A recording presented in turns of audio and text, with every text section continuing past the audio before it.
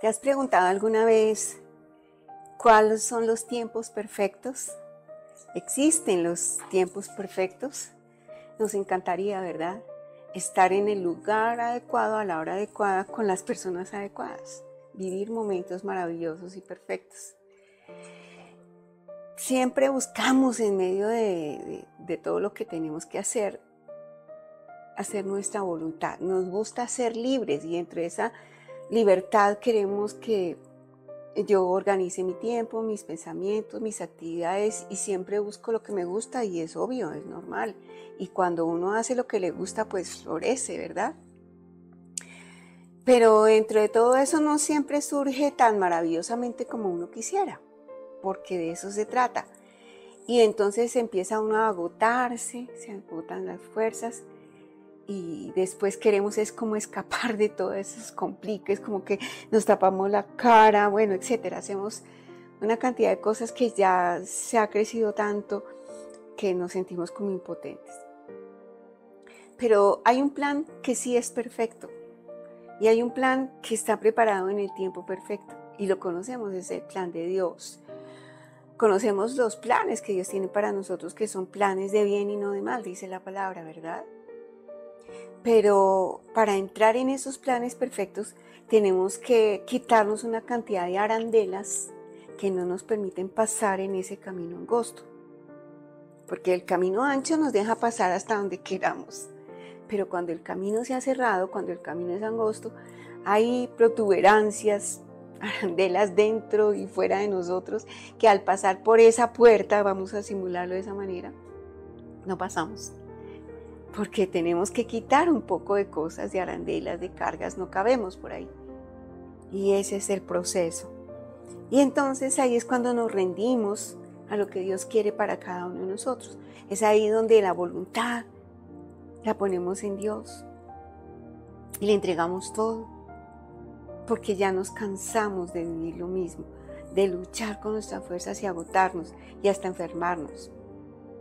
Pero hacer la voluntad de Dios es más vida, más tiempo, más alegría, más tiempo de gozo, más alegría. Y bueno, también incluye el tiempo para ir trabajando esos procesos. Entonces, los tiempos perfectos están en Dios. ¿Y qué significa la frase, los tiempos de Dios son perfectos? En esta sociedad moderna, pues está marcada por un ritmo de vida muy agitado, muy frenético, sería la palabra. Y a menudo están resultando unos niveles mm, avanzados o aumentados de la ansiedad, del estrés, por lo mismo que está surgiendo la modernidad, que eso es bueno, nada de lo que sucede es malo, solo como yo estoy aplicando esa modernidad en mi vida. Yo puedo decidir y yo puedo escoger, ¿verdad? Y en esa constante carrera contra el tiempo, es común que estemos buscando respuestas rápidas, soluciones inmediatas, resultados instantáneos. ¿Verdad que sí? Así nos pasa.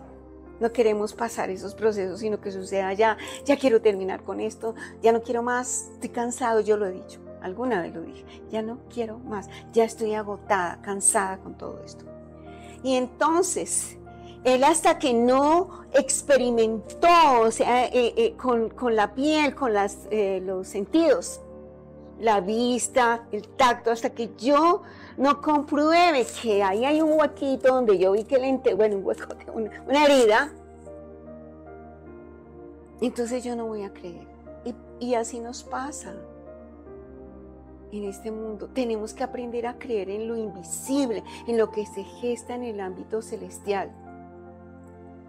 Dios es espíritu, el Espíritu Santo habita en ti y suceden cosas maravillosas, extraordinarias cada día en nuestra vida. Entonces, la certeza de lo que se espera. ¿Qué estás esperando tú? Ten la certeza, la confianza, la suficiente fe para verlo en lo invisible, tal vez en el físico. Las circunstancias no están dadas. Pero en lo espiritual, muy dentro de ti, ese llamado, ese, ese saber que o tener la confianza de que yo sé que va a suceder. Y cuando tú te sintonizas en esa frecuencia, llamémoslo así, suceden las cosas. una clara invitación a tener una confianza en el proceso, a creer firmemente, a mantener la esperanza en los tiempos de incertidumbre. Es ahí donde se capacita la fe, es ahí donde es retada nuestra fe. Entonces, ¿cómo la vamos a ejercitar?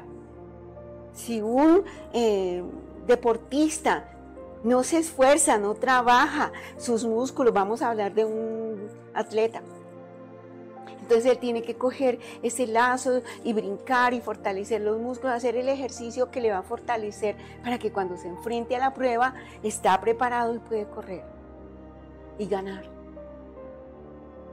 Pero si no nos preparamos, este mundo es así.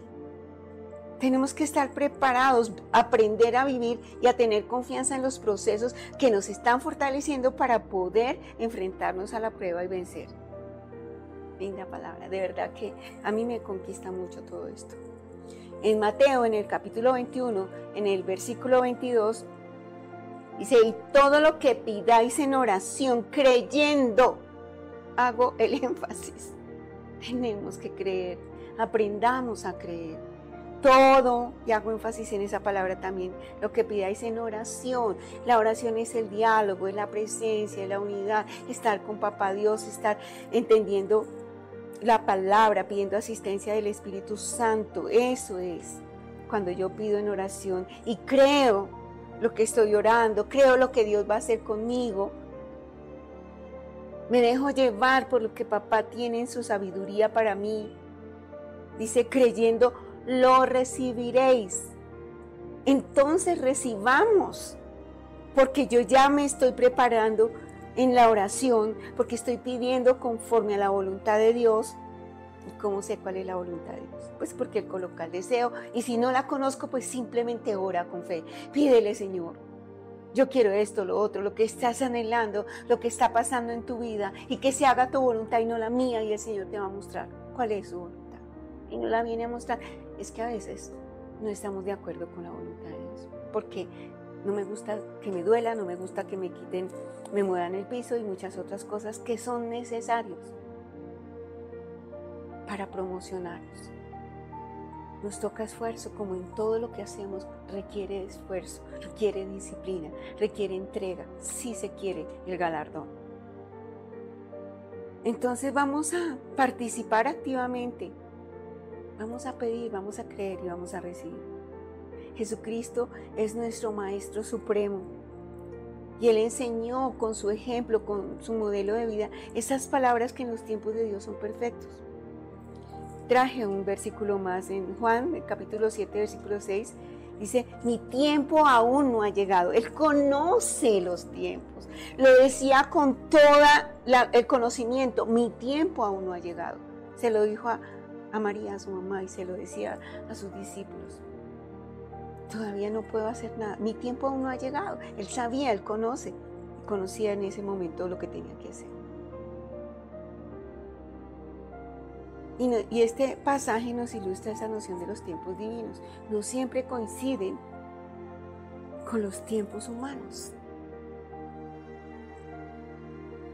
A, pesar de, de, esas presiones que tenemos, a pesar de todas las expectativas, los anhelos, los sueños, los deseos, como nos sucede a nosotros, también los vivía Jesús. Y Jesús vivió su vida de acuerdo al tiempo divino, demostrando esa profunda confianza en ese plan divino. Y es a lo que te estoy invitando.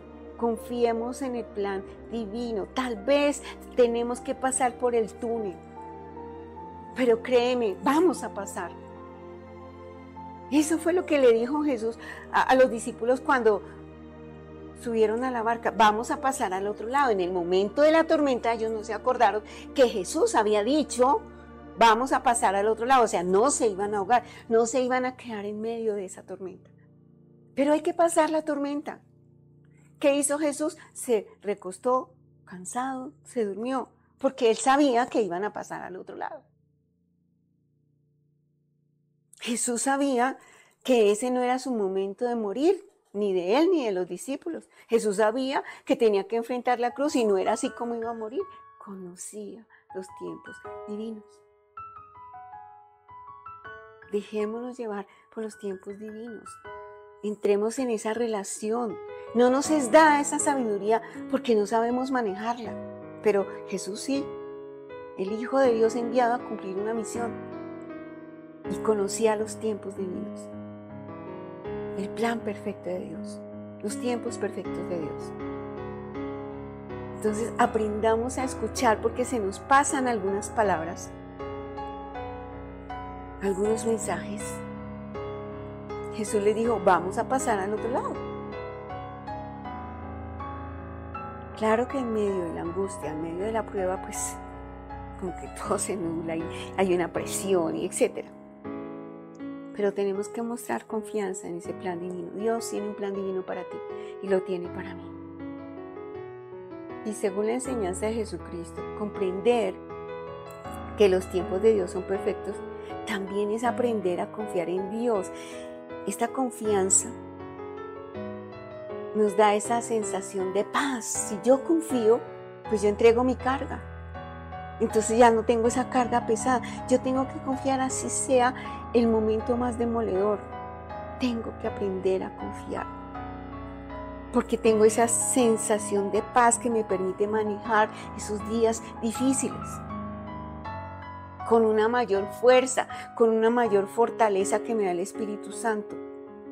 Y, aquí cabe la palabra de moda, la resiliencia. Qué importante, ¿verdad?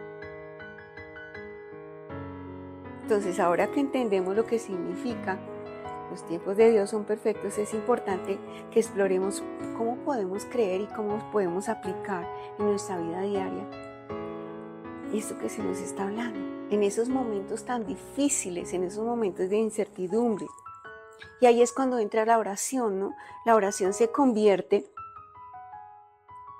en esa calma, en ese remanso en nuestro interior yo me desahogo, yo vengo al Padre, estoy pasando esto, estoy atormentado, atormentada, angustiado, mira, no, no temes por mí, está pasando esto. Y Jesús entra y va a hacer la obra preciosa, si es el momento perfecto, porque Él conoce los tiempos de Dios. Y si no, en la paciencia esperamos, pero vamos a pasar al otro lado. Vamos a vivir con calma, en nuestra mente, en nuestro corazón. Vamos a soltar nuestras ansiedades.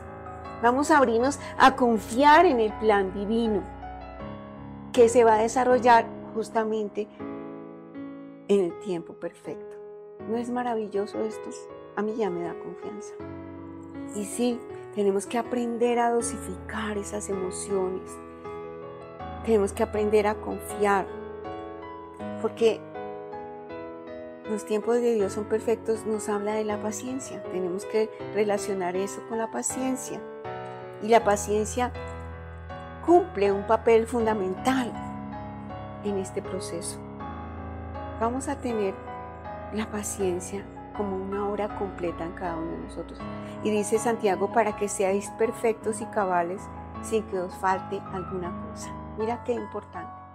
Si sabemos esperar, si aprendemos a a creer en el plan divino, en los tiempos perfectos, no nos va a faltar ninguna cosa. Vamos a tener todo en orden. Dice, por lo tanto, la paciencia debe tener su obra completa. Muchas veces nosotros no permitimos que se cumpla completa la victoria. Recibimos pedacitos de victoria por la ansiedad, por el afán, por la angustia. Claro que para eso tenemos que ser perfectos y completos sin que nada nos falte, pero el complemento y la perfección la tenemos es en Cristo Jesús, en el poder y el acompañamiento y el consejo y la sabiduría de su Santo Espíritu. Termino con Eclesiastés capítulo 3 versículo 11. No, no pude dejarlo afuera porque es como la cereza del pastel. Vamos a culminar diciendo esto en Eclesiastés capítulo 3 versículo 11. Todo lo hizo hermoso en su tiempo. Tú eres hermoso, hermosa. Y tiene un plan y un precioso plan divino para ti. Y es hermoso. Y va a florecer aún más en el tiempo perfecto. Dice, también ha puesto lo eterno en el corazón. Sabemos que los hijos de Dios tenemos un plan eterno, precioso, cumplido, cumplido. Un plan que ya cumplió Jesucristo por nosotros y que nosotros estamos pasando en el proceso. Dios lo tiene ya orquestado desde el comienzo hasta el fin y es un plan de bien y no de mal. Maravilloso, ¿verdad? Yo sé que muchos de los que me están escuchando allá están entendiendo, se está suavizando su carga. Aprendamos a descansar, a vivir en paz, a comprender que esas demoras tienen un final feliz, que podemos confiar en Dios, que Él está orando detrás de esa escena triste, dolorosa, con un propósito maravilloso, con un propósito perfecto en nuestras vidas. Entonces, siempre iniciemos el día, pasemos el resto del día y culminemos el resto del día en oración ejerciendo la paciencia, aplicando la confianza, que es la misma fe. ¿En quién? En la sabiduría divina, en descansar, porque ahí es donde podemos encontrar ese consuelo, esa fortaleza, esa certeza de que los tiempos de Dios son, muy bien lo has dicho, perfectos. Qué lindo que el Dios Todopoder, que su tiempo perfecto caiga sobre tus circunstancias te dé toda la gracia, el favor, la presencia misma, la ayuda y que te desarrolle paz, que te desarrolle fe y confianza en que el plan es perfecto para ti y que todo va a estar bien. Entonces, hay promesas para que logres tu propósito. Los bendigo y vamos a entrar en ese tiempo de oración. Voy a pedir para que aprendamos, Dios, a descansar en el tiempo perfecto tuyo, en los planes divinos, porque creemos firmemente que no son planes trabajados al descuido, son planes que vienen de ti, planes de amor, planes de esperanza y que nos están formando y que nos están ayudando a cumplir un propósito y que nos están ayudando a crecer y a ser fortalecidos. Gracias, mi Señor Jesús. En este momento, de aquellos que estén pasando dificultad, que están viendo con sus ojos físicos momentos muy difíciles. Yo pido por ellos para que no pierdan la fe, para que no pierdan la esperanza, para que se mantengan firmes, para que sepan tomar las decisiones y también sepan esperar. Gracias Señor por tu palabra. Saber esperar es muy importante. Sé que muchas veces tenemos que dejar que las cosas fluyan según tu voluntad. Padre, tú eres el Señor de los tiempos, sabes todo sobre nuestro pasado, diriges nuestro presente y a ti te pertenece el futuro. Perdónanos si no hemos creído, si hemos desperdiciado el tiempo en cosas sin valor. Por favor, ayúdanos a hacerlo mejor. Que podamos hacer en el momento correcto, en el tiempo correcto, para que fluya lo invisible y lo sobrenatural que aprovechemos siempre las oportunidades para glorificarte con nuestra vida, con nuestra fe, con la paciencia, con el cumplir tu voluntad, amando y sirviendo, con el tiempo que tenemos, Señor.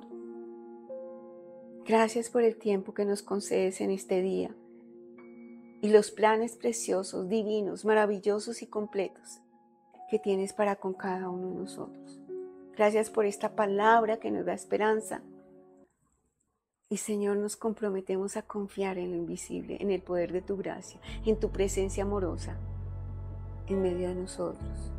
En el nombre poderoso y maravilloso de Cristo Jesús, Señor nuestro, hemos orado. Amén y amén.